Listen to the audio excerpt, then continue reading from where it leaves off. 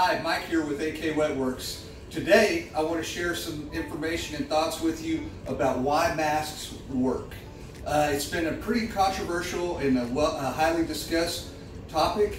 Uh, some good, some bad. We're just here to provide you with some opinions and some information. And uh, we found a link that we thought was very important to share and uh, did a really good job at talking about masks and, and, how we look at them and relate to them and how we know if they fit properly uh, based on the different types of masks that we're using. Because there's been a lot of talk about the virus is so small it, it gets through the weave. And, and, that's very true but they do a really good job talking about uh, moisture and water droplets that are actually bigger and that's what the uh, virus is attached to. So those moisture droplets are really big enough when they go through the mask, they actually stop the virus because they're caught and mixed with those uh, water droplets. So that was really important. It's a great point to look at and pay attention to on the video that uh, you go look. It's, it's a really good one. Um, the other thing that uh, we thought was pretty important was, uh, you know, they looked at all different types, bandanas and the, the, the, the N95 masks, the, the stuff that you buy off the street, off the store. And they also, you know, really just kind of looked at, uh, you know, the homemade cloth. And, you know, I think their general conclusion was that face coverings work in general. Some a little better than others, but in general, they work and they do what we're trying to get people to, uh, to do by wearing them. So uh, with that said, uh, I wanted talk about the fitting because if you don't want it too tight, you don't want it too snug, and you think, well, hey, how do you know if it's just right? And I, am going to demonstrate here a, a, few things. So I have one that's that's too small, and I have one that's too loose, and then I have one that fits me just right. So I'm going to start, uh, and this is the candle test. And from about a foot away, if it's properly fitted and you have the right right amount of ventilation coming out, you should be able to blow a candle out at about a foot. Uh, the other thing that's important to know, and we learned this the hard way, don't use decorative candles. The wicks are very thick and they're hard to blow out. So, uh, you know, most of the demonstrations are using a birthday or a tea light candle. So, uh, just keep that in mind that you use the same type of candle when you're doing it so that you have good consistent results. So I'm going to put this mask on. This one is actually uh, well fitted for me. Let me get it positioned. And I'm going to light my candle. And I'm going to hold it about a foot away and I'm going to try to blow it out. Just like that. So that tells me that the ventilation in this mask is fitted well for me. It's not too loose, not too much air is going out the sides, and it's not too restricted and too tight. So I'm going to do the same thing again. This is a very small mask. And you can see, doesn't fit me good. Doesn't cover me good. It doesn't, it's tight on my nose. It, it's popping up around my mouth. Uh, it doesn't feel good around my ears. And com comfort is very important. So now, well, definitely doesn't fit. So let me try again. You can see first try I couldn't blow it out because it, it's way too tight. Still can't blow it out. Two tries, still can't do it. All right, so that one's too tight.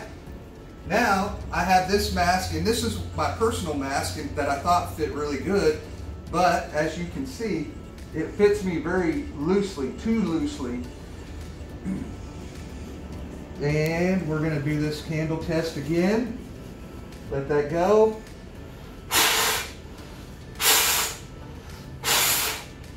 Too loose. All the air is blowing up in my face and around the edges. So uh, that's definitely too loose. I can't blow that candle out with that mask. So uh, it's a very good indicator as to whether your mask is properly fitted. Now, don't forget about your children uh, because they may not have uh, know if it's good, bad, or if it should be this or that. So make sure when you fit your children's mask, you know, you use the same, uh, the birthday candles work great and just have them blow that mask to make sure that it's properly fitted and the airflow and ventilation is working like it should. Now, the other thing that, I, that we wanted to share with you, and this was a great point, and they did a really good job at illustrating this on the link, but uh, it's worth a little bit more discussion, uh, is based on wearing a mask and not wearing a mask. What is that dispersion through the area, and particularly when we talk about social distancing, that six foot. Uh, and so they really look at it from two, four, and six feet, and really try to show you in what it means to wear a mask and not to wear a mask. So what I'd like to show you here is uh, not wearing a mask and in doing a cough test with the Petri dishes at two feet, you can see that this is heavily contaminated with bacterial and microbial matter, okay? This is no mask.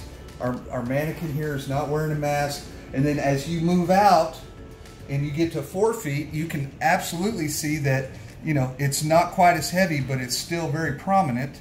And then moving on down here to six feet, you can see that uh, there's still a potential. It's still there. It's in the air. So uh, very important. Now, versus wearing a mask, now we roll down and we look at the two feet and you can see there's a little microbial there.